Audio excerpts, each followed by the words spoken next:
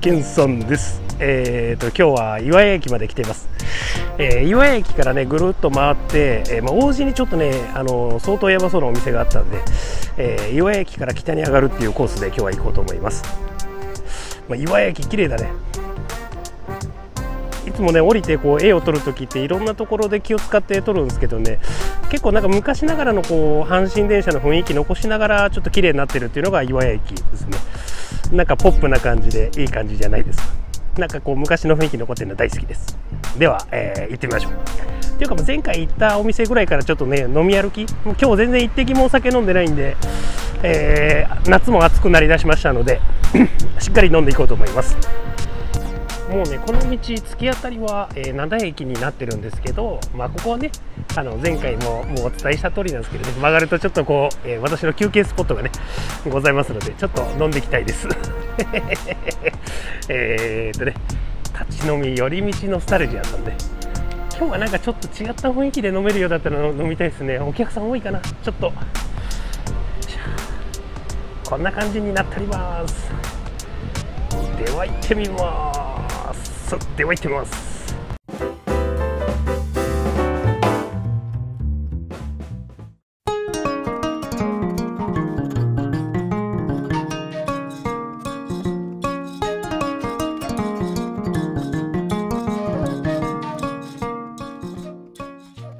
えー本日のねワンコインセット生ビール、えータンドリーチキンとえー、とアジだったかな、えーとで大根おろしと、えーこの3点になっておりますよ。よいしょ。いただきます。お酒を飲む前にねすでにもうアジのなめろうの方が届いてます。なめろうでアジだったらかなりさっぱりしてそうな感じですね。美味しそうです、えー皆さんお疲れ様です。乾杯。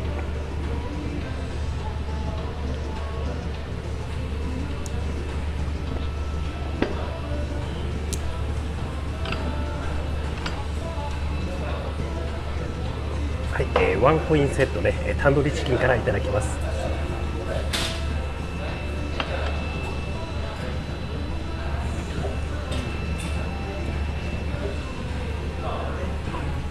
おいこれ。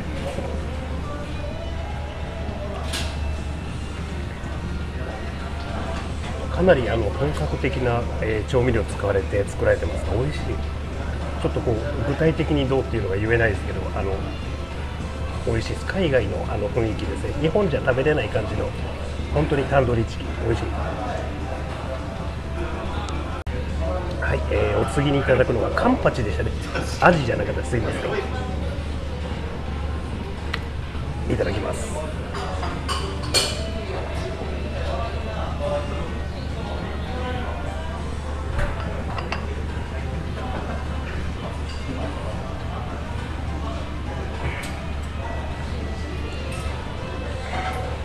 もう本当ねあのいろんなぶっ壊れたあのワンコインセットありますけども、まあこの辺が出てくるとやっぱり相当ぶっ壊れてるなと思いますね。うん、蒸しですね。かなり大ぶりなアサリですね。身の部分とかも結構出ててめっちゃ美味しそうですねこれ。わお。後ほどいただきます。お作りからねいただきます。はい、えー、アジのなめろういただきます。なめろうがね、ほんと美味しいんですね。夏の暑い時期のさっぱりなめろう、たまりませんので。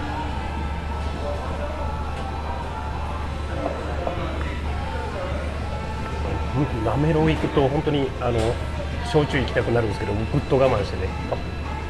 ちょっと今からだいぶ回りますので、今日はビールで。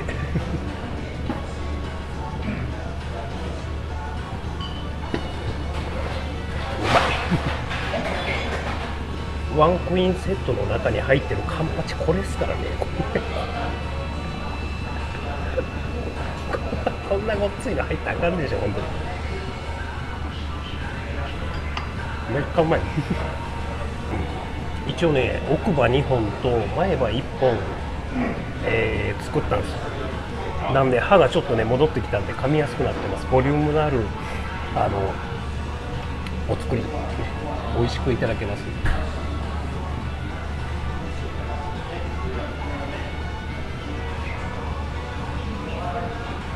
たまんねえ。と、えーとね芋焼酎モスケの水割りなんですが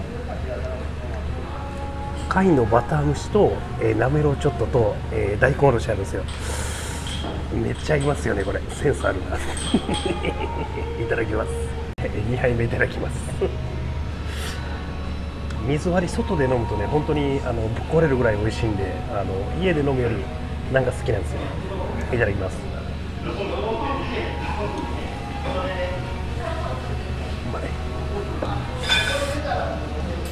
であのワンコインについてたねこれ大根おろし。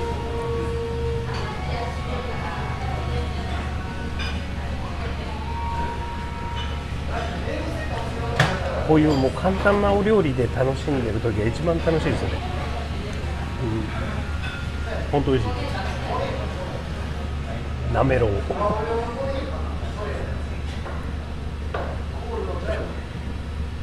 なめろうってまあ味が基本なんですけどねカンパチやったりとかするとこもありますけどやっぱね基本の味でしっかりやってこの状態。マジうまい。マジうまい。マジ味うまい。でずっと気になってたと思うんですけどね貝のバター蒸し。正直ね目の前にあってめちゃくちゃ貝大きいんですよこれ。ちょっと見たい。ょっと見ます。あれれこれ。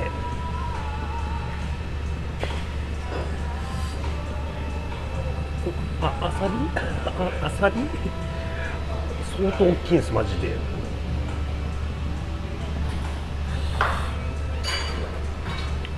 っと分かりづらいかもしれない。まあだいぶ大きいんでちょっと肉厚のある貝いただきます貝のバター蒸しとあのお出汁のこう辛み醤油の辛みが最高なんですマジでこれはもう昔アルバイトしてた居酒屋さんで覚えました。いただきます。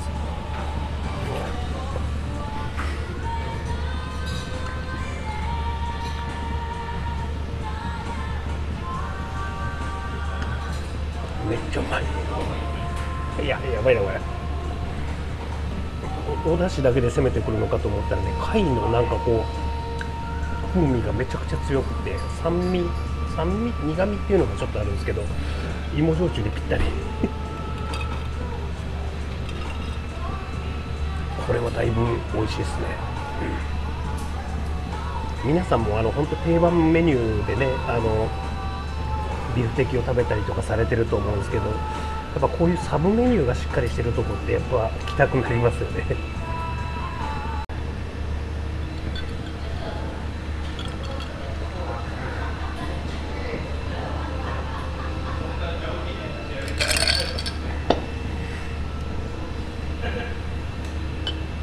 お疲れ様です。えー、灘区のね飲み歩き、えー、1軒目はね立ち飲みのノスタルジアさんから、えー、行ってきました。これ途中ね、まあ、これ王子動物園すぐ近くなんでここ来て王子動物園みたいなそういうパターンもいける、えー、展開になっておりますんで、あのー、今日はね定番メニューじゃなくてちょっと外したなめろうとか焼酎を飲んで楽しみましたけども安定して美味しいマジで。あとね貝貝の、えー、蒸し焼きがあるんですけど貝がなんか独特の貝でした。あのお出汁を飲んだんですけどお出汁はやっぱりね、えー、バター醤油だしの、えー、割の、えー、美味しい分なんですけど貝がね結構香りがあのあるタイプになってるんで相当なんか違った雰囲気で楽しめる、えー、お味になってました。まあ、ここはもうずっと、えー、灘に来る限りはもうずっと寄ろうかなと思ってるお店なんで、えー、立ち飲み寄り道ノスタルジアさん寄り道してくださいごちそうさまでした